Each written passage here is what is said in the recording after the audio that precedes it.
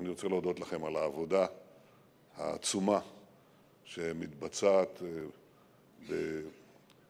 ברחבי העולם וכאן.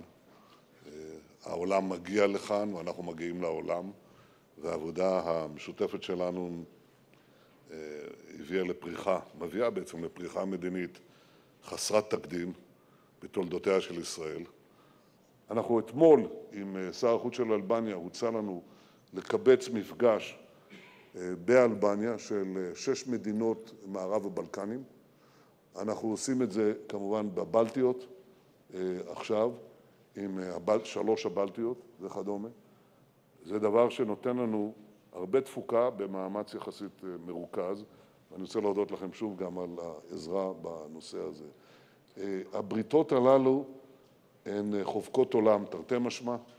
אנחנו צריכים לקדם אותן תוך כדי שאנחנו גם נלחמים לא רק על, על קידום האינטרסים שלנו, שהם האינטרסים של אלה שמשתפים איתנו פעולה, אלא גם על הצדק, על האמת.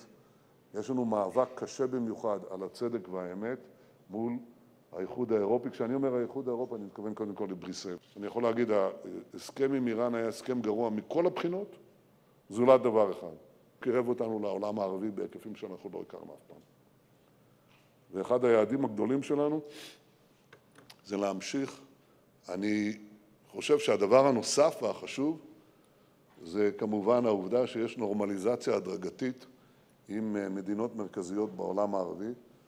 במשרד החוץ עוקבים אחרי זה.